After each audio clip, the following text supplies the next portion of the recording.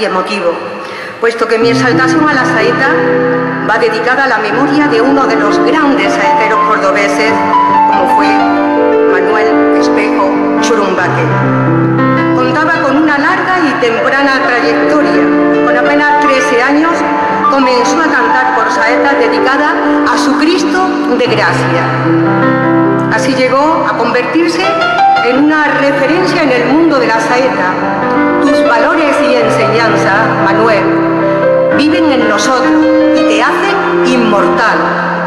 Pasaste por nuestras vidas como una estrella fugaz, pero tu brillo vivirá siempre en nuestros corazones. Nos separó la muerte, Manuel, pero tu legado nos mantiene unidos.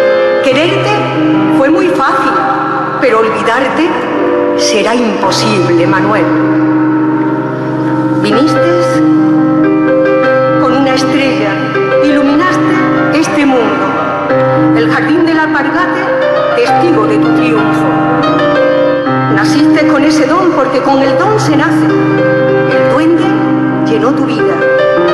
Era el alma de tu arte. Fue María la talegona, la que llamaste maestra, la que te entregó el testigo, ampliando tu grandeza. Fuiste premio nacional con tu cante del flamenco. La antigua cartagenera fue la reina de aquel momento.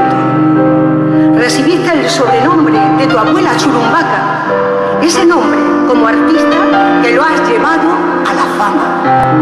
El trabajo, la honradez, en la amistad destacaba, son valores en la vida que siempre en ti realzaban. Junto al Cristo de los faroles, exaltando la saeta, era grande saetero, ha dejado mucha huella. Pero aquí, en esta tierra, la que tanto te ha querido, has dejado un buen legado al grande Churumbaque hijo. Perdurarás en la memoria, jamás llegará tu olvido. Tendrá el gran homenaje, como grande siempre ha sido. En Santa María de Gracia, donde cantaste a tu Cristo, ya tienes grabada una placa demostrándote el cariño.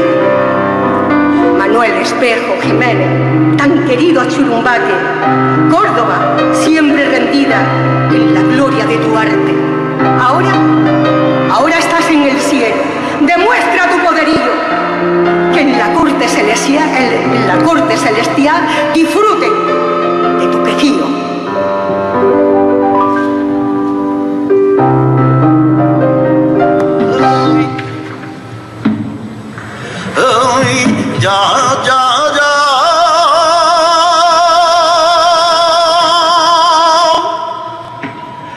呀。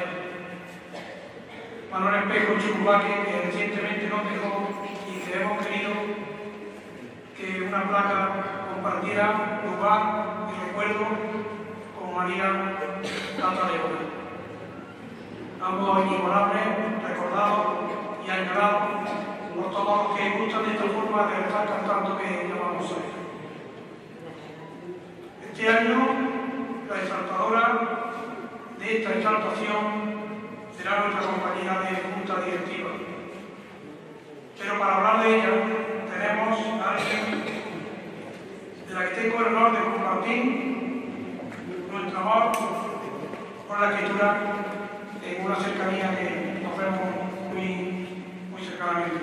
Una voz dulce y delicada es capaz de buscar con calidad una poesía cercana, con una pasión hermosa la línea de su creación. Es una suerte esta vida de carrera, de soledad, de individualismo, encontrarte y compartir momentos con alguien tan amigable, tan cariñoso y tierna en sus gestos, en sus palabras y en su poesía. No sigo más lejos de aquí a las dulces palabras de Doña Carolina Silva.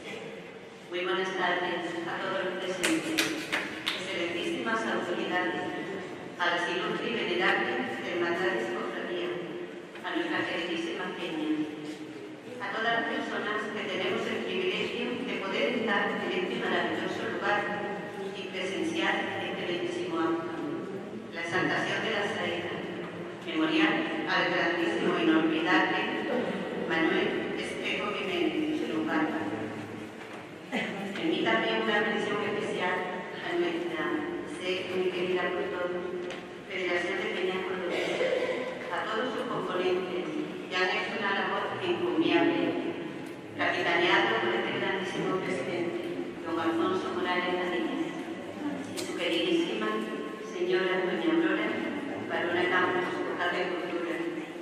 Esa brillante mente y esos incansables trabajos impulsados por el amor a esta tierra han sabido colocar a nuestra ciudad en el lugar que se merece, en el que se ha merecido siempre, en lo alto del podio, recuperando nuestras antiguas tradiciones, esas que son nuestras y no debemos perder. Eso es un sello de nuestra tierra. Y desde luego, fomentando de una manera espectacular la cultura en todos sus componentes, música, teatro, escultura, poesía, etcétera, etcétera, porque toca tantos palos, dominó, senderismo, de todos. Córdoba es una joya y de haber devuelto el y el esplendor al sacar ese cofre de ese gobierno en el que estaba desolada. Muchísimas gracias de corazón.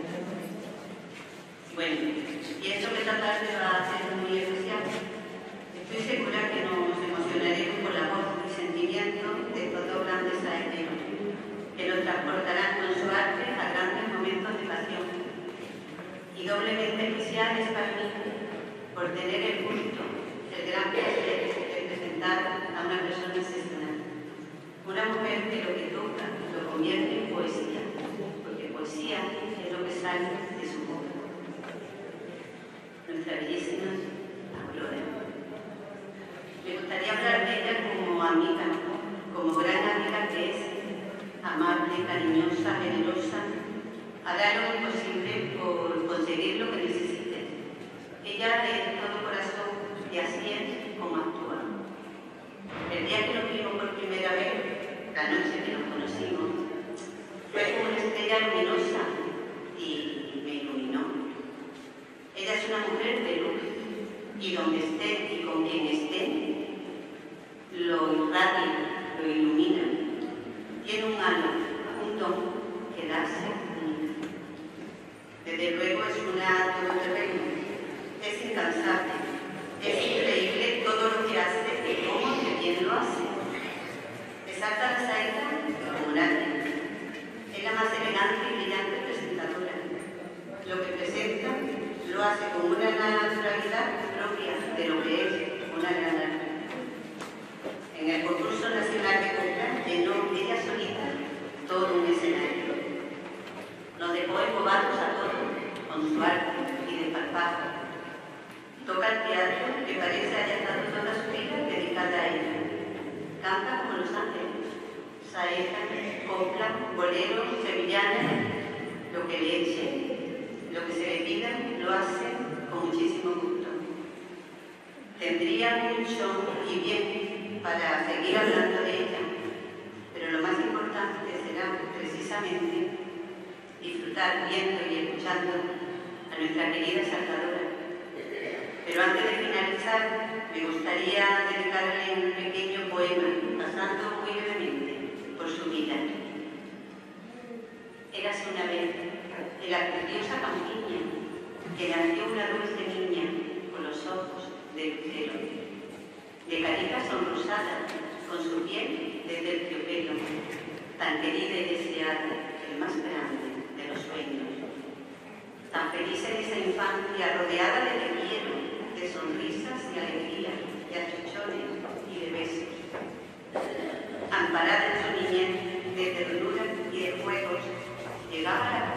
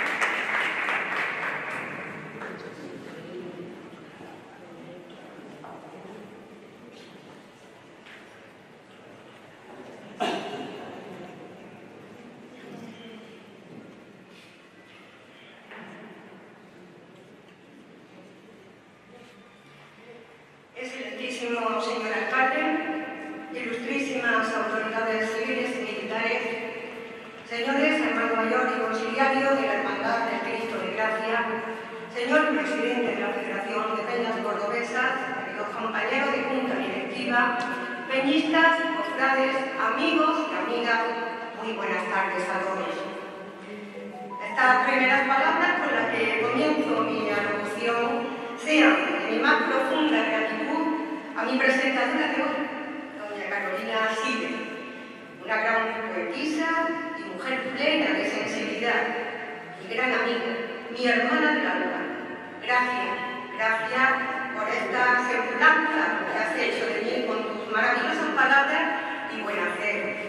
Gracias por hacer partícipe tu talento poético en mi exaltación con algunos de los poemas que recitaré esta tarde aquí, en esta emblemática iglesia.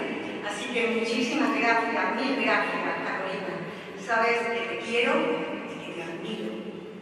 Asimismo, vaya mi mayor gratitud a mi maestro, don Felipe Muñoz Marín, por acompañarme, por estar siempre ahí, por su apoyo incondicional y sus valores como persona, que son muchos y admirables.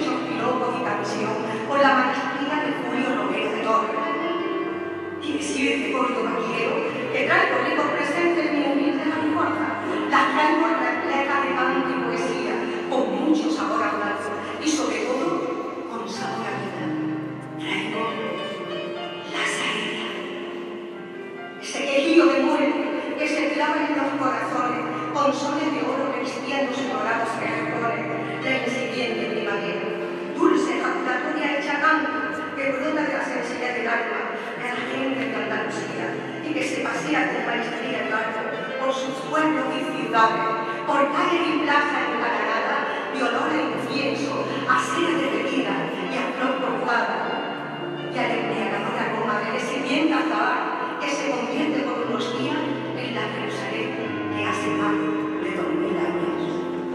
Y aquí, Plaza de la Hermandad, el labor entre la cercanía y la expansión oriental de la ciudad, plaza hoy dedicada al Cristo de Gracia, es una plataforma rodeada de protectores pollos de piedra, que, bajo la acogedora sombra de los árboles y la protección del alcance, brinda asientos de jubilados. Dos maravillas reúnen esta plaza menestral y abierta, que el pueblo ya no conoce como el jardín de la Alpargata, la fuente